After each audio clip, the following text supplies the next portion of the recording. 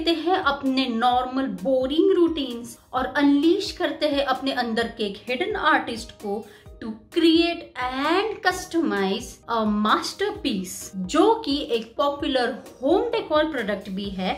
And ये सब हम कर सकते हैं in hardly five minutes hey angels it's great to see you on my channel today और ज्वाइन कीजिए मुझे इस अनफॉरगेटेबल ब्यूटीफुल जर्नी में जहाँ पे आज के व्लॉग में मैं बताने जा रही हूँ एक बहुत ही amazing art that is fluid art fluid art एक फन टेक्निक है, जहाँ पे हम पेंट्स को यूज़ करते हैं to create an amazing abstract paintings वो भी बिना ब्रश को यूज़ किए। ये पेंटिंग ऐसे नज़र आते हैं जैसे कि आप किसी भी आर्ट गैलरी में जाओ। वहाँ की जो एक पेंटिंग होती है, एक जो काइंड ऑफ़ फ्लूइड टेक्निक होती है, ये वही आर्ट है। आप सोच रहे होंगे कि ये टेक्निक बहुत डिफ़िकल्ट है, पर जो आर्ट का फॉर्म या जो टेक्निक में आज आपको बताने जा रही हूँ, वो निहायती ईजी है। वो एक डीआईवाई है। जहाँ पर हम पेंट करेंगे एक कैनवास बोर्ड के ऊपर by using certain basic techniques यहाँ पे हम पोर कर सकते हैं, हम स्प्रिंकल कर सकते हैं। यहाँ पे क्रिएटिविटी को कोई लिमिट नहीं है, जो कि आपके घर को लुक देगा। Stylish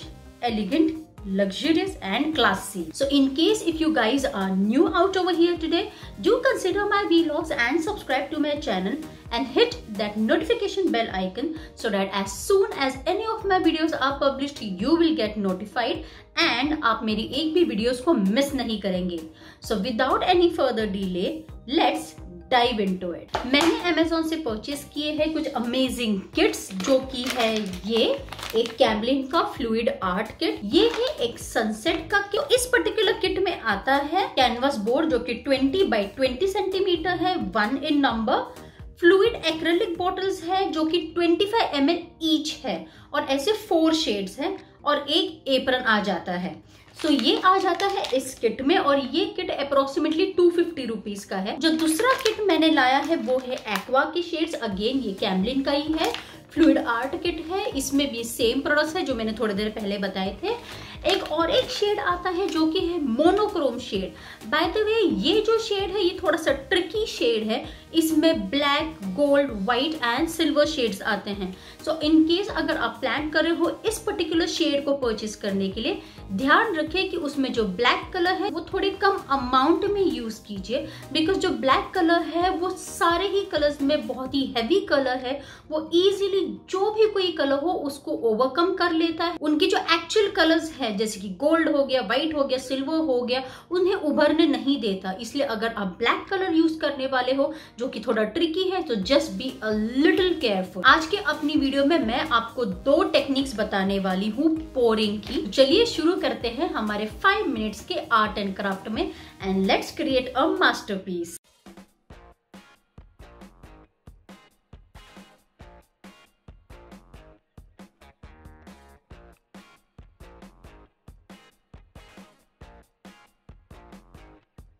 ये जो किट है, इसके बैक साइड में भी वो जितनी भी मैं आपको टेक्निक्स बताऊँगी, उसके भी कुछ इंस्ट्रक्शंस दिए गए हैं। हावेवर जो मैं टेक्निक्स जो मैं पैटर्न्स आपको जो बताने वाली हूँ, वो थोड़े से डिफरेंट होंगे। जो भी कोई आपको डिज़ाइन या पैटर्न फॉलो करना है, वो आपकी विश है। तो मैंने ये जो दोनों किट्स है, उन्हें अनबॉक्स कर दिया है। ये वाला जो है, वो है सनसेट शेड का and this one is aqua shade मेरे पास एक एक्स्ट्रा व्हाइट शेड बचा था तो इस शेड को भी मैं यूज़ कर लूँगी। प्रोबेबली आई थिंक मैं उसे सनसेट में यूज़ कर लूँगी। तो सबसे पहले मैं अपना वर्क वर्क स्टेशन रेडी कर देती हूँ। इन द सेंस ऐसा अपना लोकेशन जहाँ पर एक्चुअली मैं इस आर्ट फॉर्म को क्रिएट करूँगी। सो so, मैंने लिए हैं कुछ पुराने न्यूज़पेपर्स मैं पूरा न्यूज़पेपर्स यहाँ पे बिछा दूँगी। उसके बाद आप या तो पेपर कप्स ले सकते हैं या तो ऐसा कोई भी बॉक्स ले सकते हैं खाली बॉक्स जस्ट नीचे रखने के लिए ताकि इसके ऊपर हम अपने कैनवास को रख सकते तो ये रहा मेरा कैनवास थोड़े हाइट पर। जब भी इसके ऊपर मैं अपने फ्लूड कलर्स डाल दूँगी मेरे लिए इजी हो जाएगा इसे उठाने के लिए और उसे टर्न ओवर करने के लिए। मुझे लगेगा एक पेपर का एंड सम कलर्स चलिए अब स्टार्ट करते हैं। सो ये रहे कुछ colours this is Russian blue this one is white ये है एक टर्कवाइज ब्लू और ये है लाइट ब्लू जो पहली टेक्निक मैं बताने जा रही हूँ, वो है ring pour technique so so, ये जो पेपर कप है हमें उसका कोई भी एक साइड है उससे थोड़ा सा पॉइंटेड बना देना है ताकि इस साइड से हम पोर करने के लिए यूज़ करें और इस साइड को हम यूज़ करेंगे अपने लिक्विड कलर्स को इस कप में पोर करने के लिए। I think the first colour that I am going to take is Prussian blue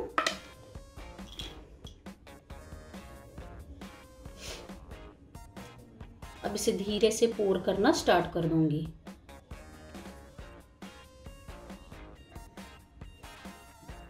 अब मैं यूज़ करूँगी टर्कोइस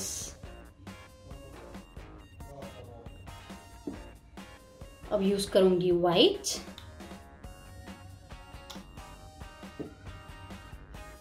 एंड ब्लू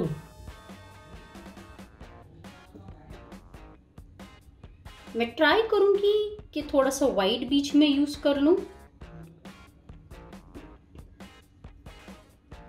ताकि थोड़ा सा एक डिफ्रेंसिएशन बन जाए सारे कलर्स में, क्योंकि जितने भी कलर्स एक्वा शेड में हैं, ये काफ़ी एक दूसरे से मेल खाते हैं।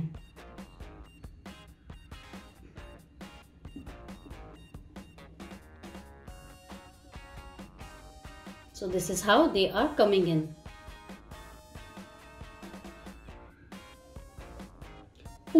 पूरी बॉटल ये खाली कर देनी है, क्योंकि ये जो 25 एम जो इन्होंने दिया हुआ है ईच बॉटल में, ये पूरे कैनवास के लिए काफ़ी होने वाला है।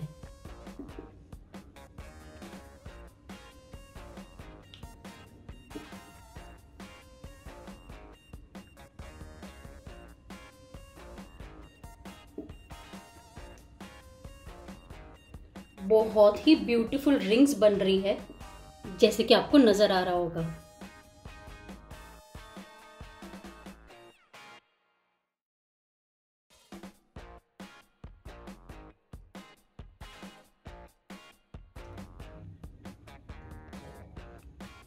यू नो वॉट एक अमेजिंग सी फीलिंग आती है जब भी हम किसी भी कलर्स को ऐसे पोर करते हुए देखते हैं तब। It give somehow a sense of calmness ये रहा बहुत ही ब्यूटीफुल अमेजिंग लग रहा है। I just cannot wait to see कि ये फ्लूड आर्ट अब कैसे आने वाला है। तो ठीक है, चलिए अब हम स्टार्ट करते हैं रिंग पोर टेक्निक के लिए। जस्ट टेक द कैनवास और जो पॉइंटेड वाला जो फॉर्म है, उसे आगे रखिए और रिंग फॉर्म में इसे पोर करना स्टार्ट कर दीजिए। अमेजिंग रिंग्स आ रहे हैं और सारे कलर्स के। ओके तो जितना भी 25 फाइव था ईच बॉटल में, ने मैंने ये पूरा का पूरा यूज़ कर लिया है एंटायर कंटेंट यूज़ कर लिया है। अभी बस इसे उठाना है और इसे हल्के हाथों से हर जगह इसे मोड़ना स्टार्ट कर देना है। Just go round towards the ends towards the edges अब थोड़ा थोड़ा कलर नीचे ड्रिप भी होने लगेगा। सो दैट्स एब्सोल्युटली फाइन क्योंकि कलर है, अगर आप थोड़ा सा एक्स्ट्रा ले ले not at all an issue but colour कम नहीं होना चाहिए। अदरवाइज़ ये जो टोटल आर्ट पीस है, ये एब्सोल्यूट वेस्ट चला जाएगा। क्योंकि कैनवास को कलर करने के लिए इतने कलर का अमाउंट बहुत ज़रूरी है।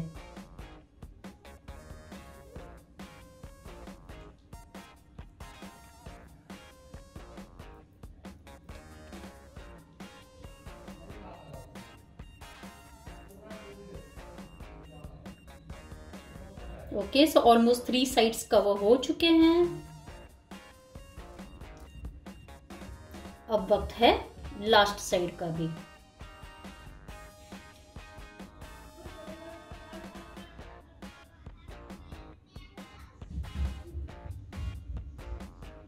सो so, ये रहा हमारा first art piece of fluid art ready मैंने ग्लव्स का इस्तेमाल नहीं किया है बिकॉज़ समहाउ मैं कंफर्टेबल नहीं होती हूँ ग्लव्स यूज़ करने के लिए। हावेवर अगर आपको अपने हाथ गंदे नहीं करने हैं you can definitely use gloves चलिए अब स्टार्ट करते हैं हमारे दूसरे शेड से, जो कि है हमारा सनसेट शेड अब जो मैं अब तो पोर टेक्निक जो बताने जा रही हूँ, उस पोर टेक्निक का नाम है glass flip technique by using this paper cup by the way ये जो टेक्निक है, ये थोड़ी सी ट्रिकी है. However with little practice definitely ये भी आप इजीली कर पाएँगे. So let me show it to you so जैसे कि मैंने कहा, ये एक एक्स्ट्रा शेड मेरे पास ऑलरेडी था. ये है मेटेलिक सिल्वर मैं इसे यूज़ करने वाली हूँ. So this is one shade अब मैं जो एक्वा के शेड्स है, वो यूज़ करूँगी. वो है purple orange almost neon orange लग रहा है ये। देन देर इज़ क्रिम्सन और ये है ब्रिलियंट पर्पल सो so, चलिए जैसे कि मैंने स्टार्टिंग में पोर किया था वैसे ही पोर करना स्टार्ट कर देते हैं। चलिए इस बार ट्राई करती हूँ ग्लव्स यूज़ करने का।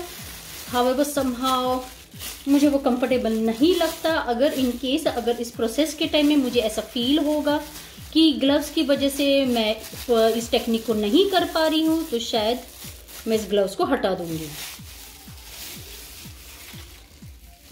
Okay so here we go first colour में ले लूँगी पर्पल बाय द वे इस प्रोसेस को करने के लिए मैंने इस कप का एक पॉइंटेड एज नहीं बनाया है, क्योंकि मुझे वो ज़रूरी नहीं लग रहा।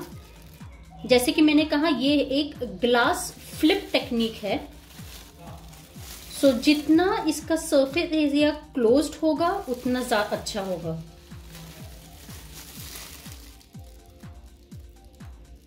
So these are the four shades amazing isn't it अब देखते हैं कि मेटेलिक सिल्वर डालने के बाद क्या होता है। कि मेटेलिक सिल्वर ज़्यादा नहीं है तो ठीक है जितना है मैं उसे कम से कम यूज़ कर लूँगी।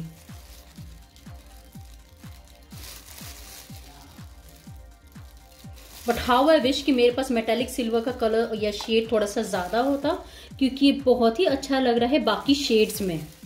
ये काफ़ी उठकर आ रहा है colour So again I am going to start off with purple. फिर से मैं एंटायर जो कंटेंट है बॉटल का डेट इज़ 25 फाइव एम मैं एंटायर कंटेंट में यूज़ करने वाली हूँ।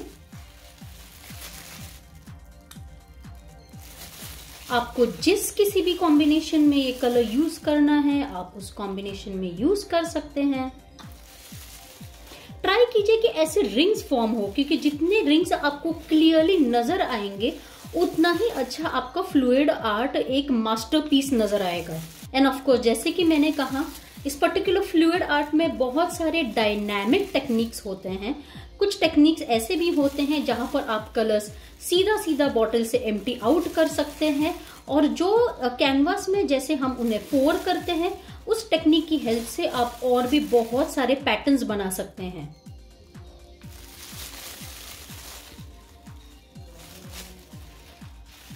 ये रहे हमारे सारे कलर्स एंड में मैंने जो बचा कुचा जो सिल्वर मेटेलिक शेड था वो भी मैंने डाल दिया है. लेट्स सी अब इसका कैसे आर्ट फॉर्म होता है. Now this is where it is actually going to be tricky और अब मैं अपना ग्लव्स उतार दूँगी.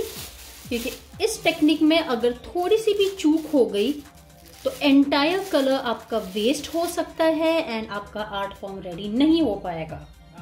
ओके okay, सो so अब इसे बस हाथ में लेना है. कैनवास को इसके ऊपर उल्टा कर देना है। इसे उलट देना है। Just see how okay that's it अब जैसे हमने फ़र्स्ट में किया था let me wear my gloves ये उलट तो सही से गया है। अब बस इसे अच्छी तरीके से हमें स्प्रेड आउट कर देना है।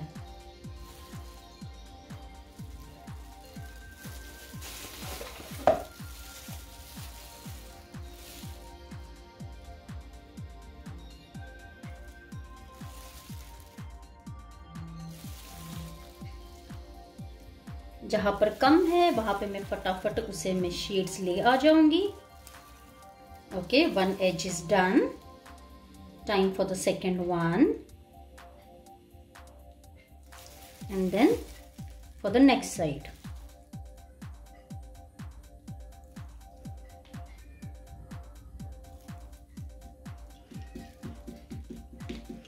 that's it.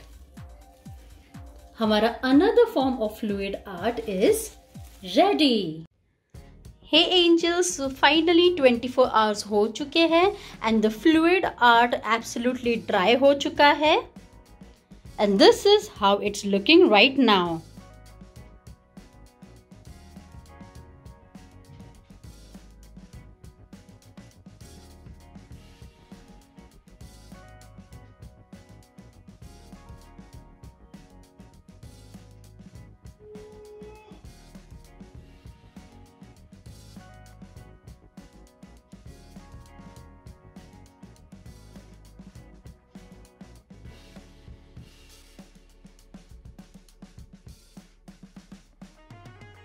मैं काफ़ी सेटिस्फाइड हूँ अपने इस फ्लूड आर्ट से। ये जो ब्लू वाला है, ये मेरे बेटे को स्पेशली बहुत ज़्यादा पसंद आया है। So maybe like let see probably ये मैं शायद उसे गिफ्ट कर दूँगी। इसे मैं अपने होम डेकोर में कहीं ना कहीं लगा दूँगी। इसके लिए डेफिनेटली कोई ना कोई स्पेस मेरे लिविंग रूम में या मेरे बेडरूम में मिल ही जाएगा। सिर्फ़ एक चीज़ में इसमें भूल गई थी करना, वो था इसके ऊपर वार्निश स्प्रे यूज़ करना।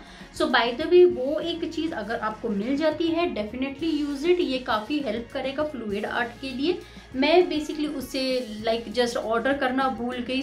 Somehow it just kept my mind but definitely अगर आप फ्लूड आर्ट कर रहे हो then do have varnish spray with you वो जो स्प्रे है, वो सबसे एंड में यूज़ करना है, जब आपका फ्लूड आर्ट ड्राई आउट हो जाएगा तब आई होप कि आपको मेरा वीलॉग पसंद आया होगा do let me know by hitting like share and comment and in case if you are new to my channel out all my video and subscribe to it on my channel you will find no limit for art and creativity and unlimited information when it comes to home decor and improvement ideas. तो फिर मिलने तक take care.